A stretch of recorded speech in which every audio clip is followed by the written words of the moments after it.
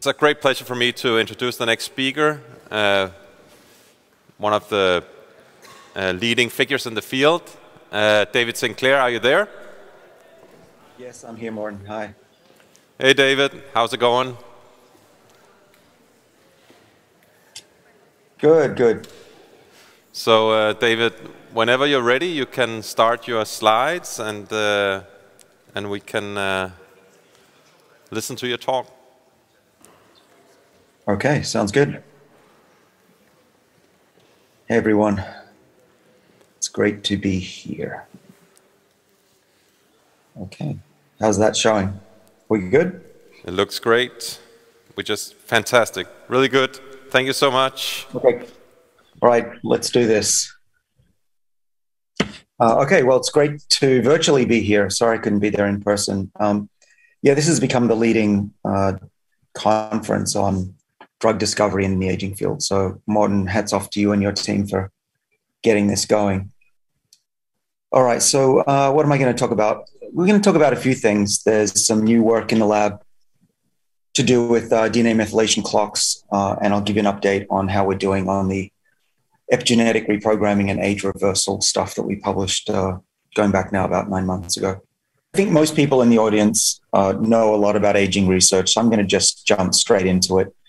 Um, if you can't uh, follow, you know, there'll be questions at the end.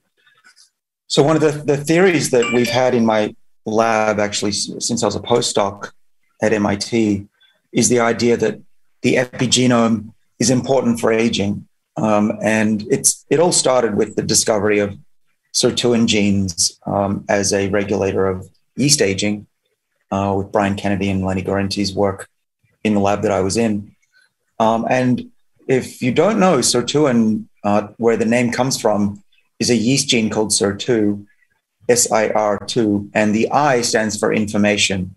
And so sirtuins are epigenetic regulators. And the question was, what the heck is an epigenetic regulator, gene silencer doing extending lifespan in yeast? And it turns out that these genes, these, these enzymes, which are uh, deacylases, do a couple of major things in the cell. Um, and many others. But the two major things they do is they control gene expression and maintain uh, youthful gene expression in yeast and in mammals.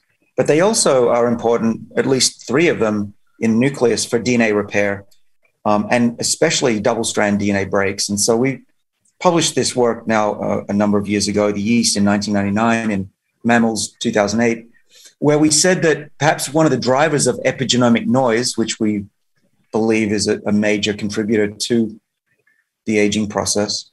Um, may, maybe those are uh, double strand breaks are actually a major driver of that process. And you can see in this uh, summary that was uh, Jan Weig's um, companion to our cell paper shows that uh, in this case, SIRT1, but we also know SIRT7 and SIRT6 are distracted by double strand breaks. They move to the break, they help repair, and then somehow they have to find their way back to where they came from to uh, reestablish gene expression as it was before.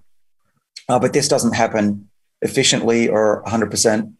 And what we find is that if we do this in yeast cells, uh, and as I'll show you in mammals, you get uh, epigenomic drift, or also known as epigenomic noise, uh, which we believe is a, um, a result of cells being co-regulating gene expression with DNA repair.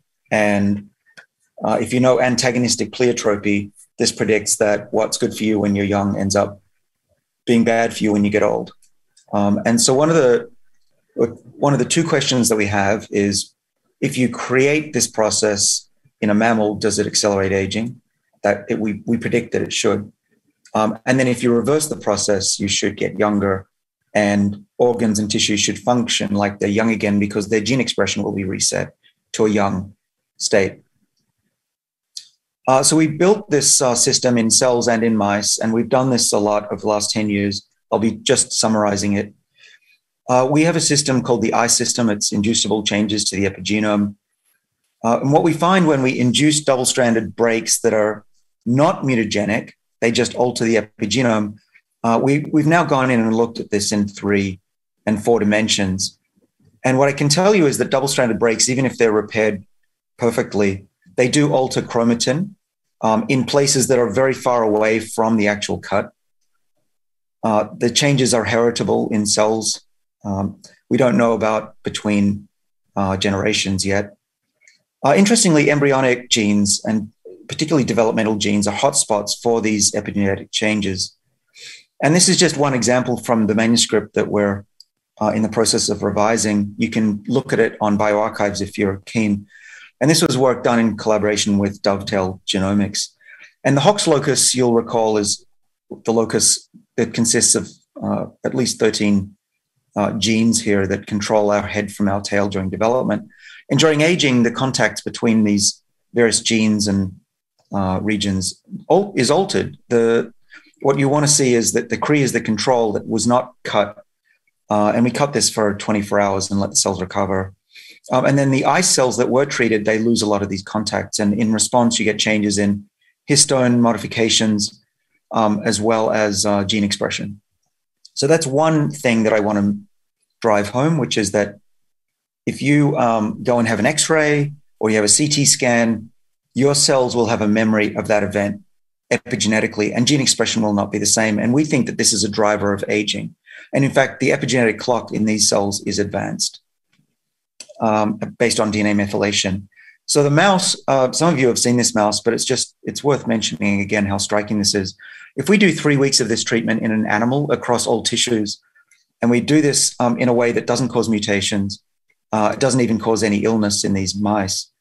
Uh, if we wait 10 months, that's the untreated control uh, at 16 months of age, and this is the treated one. And these are epigenetically old. Uh, we can measure that. I'll show you how we measure clocks in my lab now. We have a new method. Uh, but this was done in collaboration with a number of labs, um, uh, Vadim's lab as well as Zymo. But not, not just the clock is advanced, these mice actually are old. They're, they're physiologically old, gene expression is old, histologically, they're old. Um, and we can dial aging up as fast as we want. We can make this mouse get old in two months or 10 months or, or 13 months uh, because it's inducible, uh, uh, tamoxifen inducible. Um, importantly, there's no increase in mutation. So what this is arguing is, first of all, this is a this is a hail mary experiment, right? It didn't have to work this way. These mice could have died. They could have gotten cancer. They didn't. They got aging, and so this is aging in the absence of mutations. Um, doesn't mean mutations aren't important, of course. You know, Jan's work is very important, but it does show that you don't need mutations to change the age of an animal. And this mouse on the right, on these mice, which we've looked at hundreds, probably a thousand or, or more now, are about 150% the age of the, of the controls. Um, so the, we, we've realized, I think all of us, that DNA methylation clocks are a little expensive if you want to test a million people and not very high throughput. Um, for instance, Illumina DNA microarray, unless you get a super deal, uh, of you know super bulk, you're still going to pay 150 to 300 dollars per sample, uh, and then you have to do RRBS, and that's you know, 250 500 dollars per sample. So that that gives you across the genome, but it's still uh, fairly fairly expensive um, if you do it in populations. Uh, so Patrick Griffin, who's a talented graduate student in the lab, decided to figure out a way to do this faster and cheaper and he's come up with what he calls TimeSeq, uh, tegmentation-based indexing for methylation sequencing. And basically, what it's using is a transposon TN5 to insert barcodes uh, into sites that we want to sequence for DNA methylation. Uh, and so he uses that method. It works really well. Uh, you can then pool multiple samples of mouse DNA or human DNA, doesn't matter. Uh, and you can pull 96, you can you can pull a lot together, and then that immediately reduces the cost uh, because you run, run them all in one sequencing run. Uh, and then we also do an enrichment step as well, which is uh, helpful to reduce the cost. So, to give you an idea of how far this has come over the last few years, um, when we sequence the pools and then deconvolute the samples, there we get beautiful data coming out. That's an example of the primary data. We can look at particular CPGs. We can look at thousands of them at once. Uh, this is a mouse clock that um, the mouse data is really, really quite beautiful. It's come out. You can see how well this works. And for this uh, current technology, we're less than $10 for a sample. Uh, Patrick can process 600 in a couple of days. It's not a big deal anymore. And it'll just get cheaper and faster from here on. Um, we teamed up with uh, Alex, uh, who you heard earlier, uh, and Vadim, and we were amazed to see that even with shallow sequencing, we could get high levels of significance and age prediction. And the the data that comes out of this is spectacular, better than we expected. And in fact, uh, this is very cheap. Uh, this is down, as it says there, to less than two dollars a sample, which means that using this and getting it down even lower in price, we can literally be doing millions of people every few months. Um, what about the age reprogramming? So epigenetics is now very hot. Uh, we published a paper in December, shown down in the bottom right. It's it's not in press actually published. Um, we were looking for ways to reset the epigenome. Right, it, we were driving it forwards for ten years, but we wanted is there a backup copy of the earlier epigenome? And uh, we were inspired by uh, Juan Carlos Belmonte's work and Alex Ocampo, who showed in a prodroid model that four of the Yamanaka factors, when pulsed, uh, not continuous, uh, could, instead of killing the mouse, make them healthier and live longer. Um, it didn't mean that it was necessarily age reversal, but we gave it a shot anyway. Uh, the real breakthrough came when Wan Cheng Lu, who's shown there, uh, left c-Myc out and found that it was just as effective at reversing aging without causing tumors um, or making any any kind of on- oncogenic uh, signal. And the age actually of the cells in the fibroblasts and the neurons that we've worked with goes back to a certain point, let's say about 80%, and then stops. There's a barrier to going too young, which you don't want to do. You don't want to become a stem cell again. Uh, and that's beautiful work also by Xiao Qian, um, and he came from Vera Gorbanova's lab. And so the system uh, is three genes in a cistron. It's uh, OSK, three of the Yamanaka genes, and we can turn this on and off with, with TET. Um, and we know that this maintains the identity of mouse and human cells and resets the gene expression from an old to a young state. It takes just a matter of days in vitro and um, weeks in vivo. No induction of nanog or, or any sign of, of oncogenicity, which is a, a blessing. Uh, it's very safe. If you deliver it into a mouse systemically through IV using an AAV, there was no adverse effects. In fact, the mice that we were forced to sack to publish that paper had uh, a trend towards fewer, fewer tumors, not more. Um, and so we chose the central nervous system to reprogram for a number of reasons, um, including it's a nice, nice readout. We know that old neurons don't regrow and young ones do. But also, we like the eye because that's a great place to start with human clinical trials because uh, the FDA has AAVs approved for treatment of the eye. Um, and so we took mice. This is uh, in collaboration with the people on the bottom there. Zhigang He and Benedict Brommer did this original experiment where we we crushed the optic nerve to ask, can you make it regrow, which would be evidence that we could reverse aging. And this is no treatment where most of the, the optic nerve has died back towards the right where the brain is. But if we turn on those Yamanaka factors after the crush, we can maintain the survival, of most of those neurons, and you can see that they even start to grow towards the brain. And if we leave them longer, instead of this is four weeks um, of, of induction, we actually uh, can now uh, leave it for 16 weeks and see that most of these, not most, but many of the nerves make it back to the brain. Um, so that was the beginning. We've, we've of course measured the age of these neurons. Um, this is the, and, and they are um, younger after the treatment. This is uh, more of, I think, a more impressive result looking at the, the methylome. And you can see what a difference it is between the middle column, which is the untreated injured, and then the treated injured on the right. You can see how amazingly preserved the uh, or reversed the DNA methylation pattern is.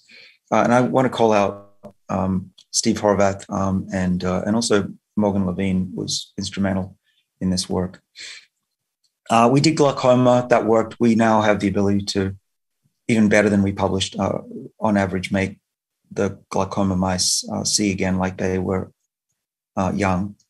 But the one that I like uh, is the old mice. So we took one year old black six mice, which do not see and you can tell that because they don't follow a moving screen. Uh, we treated them, and the, the treatment is on the right here with this OSK. Again, I think you can appreciate the broad uh, reversal of the DNA methylation patterns. Uh, how the cell knows which methylation patterns to restore is still unknown. Um, methylation age uh, was uh, reduced, as shown here. Uh, what I think is even more striking is that the, the gene expression patterns were restored, not just which gene, but by how much that gene should be restored. Uh, and that's represented because these um, RNA-seq results are along this diagonal up to the left. Um, and that's an extremely significant result. Um, this is the improvement in vision after the treatment in the red versus blue. Um, and one thing that we didn't expect is that when we compared the injured neurons in the first experiment versus aging, uh, there's an extremely high correlation. You can see the p-value there is more atoms than the universe. So, what this tells us is very likely that injury, cellular injury, uh, also accelerates aging in the same way that uh, that normal aging does. Okay, where are we going with this? Well, this is work uh, by Xiao Qian, and, and this is uh, these are brain organoids by Jae Hyun Young in the lab, both postdocs. And we're now working with uh, human tissue. We've reprogrammed iPSCs that have the ICE system and the OSK reversal system in them. Uh, these have brain activity, they grow nicely. They're a mix of cells of neurons and astrocytes and microglia.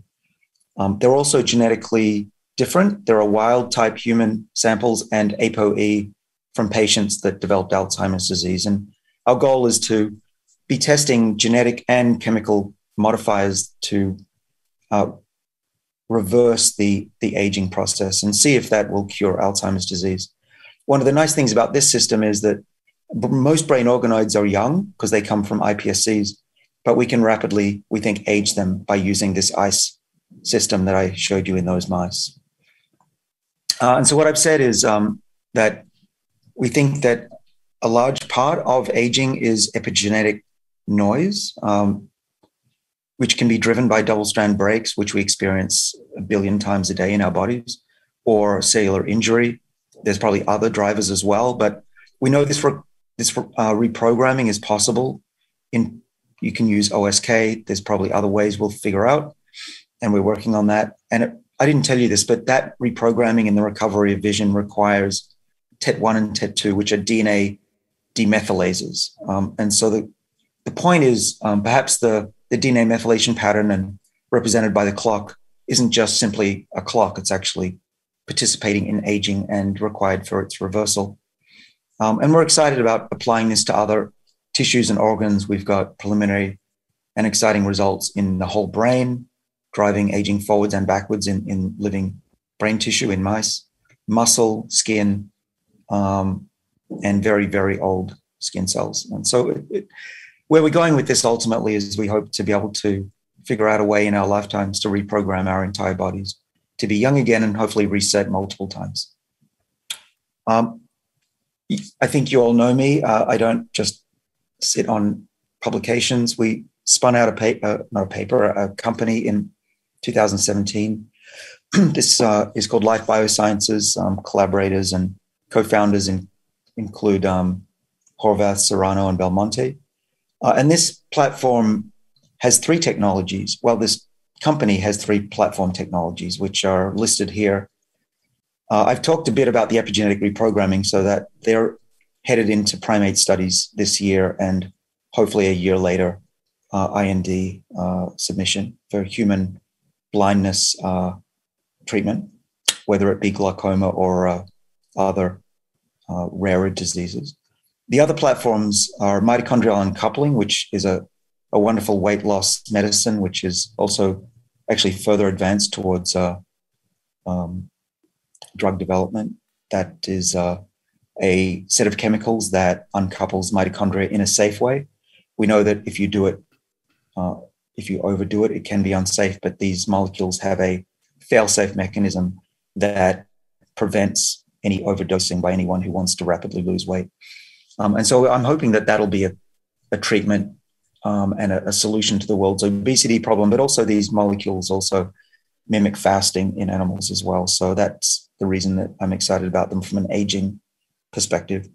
Uh, and then Anna Maria Cuervo and her labs and, and Everest, her wonderful collaborator uh, who does the chemistry, are down at Albert Einstein College of Medicine. And they are working hard on um, activators of chaperone mediated autophagy to mimic fasting, deep fasting, like three days of fasting.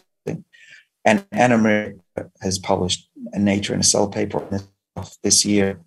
Um, and it's pretty exciting that that's also uh, rapidly moving towards human uh, clinical trials.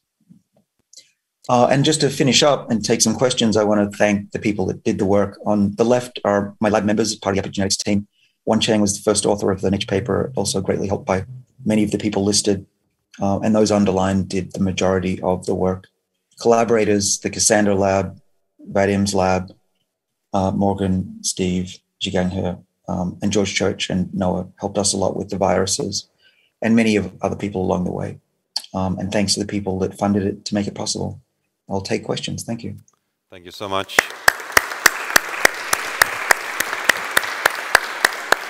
Thank you for a, a great talk, David. We have some uh, questions on Slack.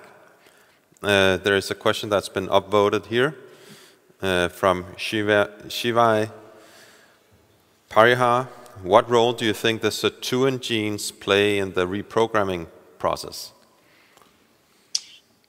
Well, I'll tell you what I think, and then I'll tell you what I know. Um, I think they play a key role in the reprogramming process. That without them, um, at least the ones in the nucleus, it, it, it's not going to be efficient, and it may not work. Uh, and we are working on that right now. Uh, I also am, am, curious as to whether activating some of these sirtuins will increase the uh, efficiency of reprogramming. And that we're actively testing as well. What do I know for sure? Uh, nothing, but we're in the middle of, of trying to figure out if that they do really play a role. But all the evidence points to them playing an important role. All right, thank you very much. Um, there's a, um, another there's a question here in the audience, sorry. Hi, David. Nice talk. Thank you for sharing the data. Just was wondering, this strategy of reprogramming works in the same way for different tissues and cell, or do you need to optimize it depending on the tissue? Yeah, so so far we haven't been unsuccessful at reprogramming a tissue. And I, I know Manuel Serrano is going to be putting out work saying that he's been successful reprogramming a variety of internal organs in, in mice. Um, but I, I, don't know the answer to that yet. I think that it's surprising how universal it is. But what we've noticed that might be helpful is the dosing seems to be diff, have different tissues have different dosing requirements of OSK. And some tissues, such as the brain, can handle a lot, and some tissues such as muscle prefer a lot less. And so the trick is going to be if we're going to do all all tissues at once is to make sure we hit the sweet spot. Mm-hmm. And do you use the DNA methylation profile to calibrate the reprogramming?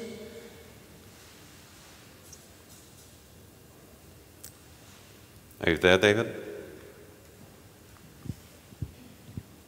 David? Martin, you might. I think you have to repeat the question because you broke so, Sorry, I was just asking whether you use the DNA methylation profile to calibrate the dosage of the reprogramming. How do I calibrate the dosage? Yes. Um, okay. Yeah, so we have a number of ways. We can use different amounts of virus, but we can also use um, doxycycline, which is able to be titrated um, and we can also different promoters that are tissue specific. I mean, it was chosen also based on the DNA methylation profile. Is that the parameter that tells you the reprogramming work enough efficiently? Uh, no, we generally look at gene expression and mm-hmm. toxicity. Uh, and in the case of muscle, there was there was in vivo toxicity if we expressed it very highly. So we had to use less docs uh, and less virus. Okay, All right. thank you. Thank you very much, David. Really interesting and thought-provoking uh, talk. And we really appreciate you being here. Let's give David another round of applause.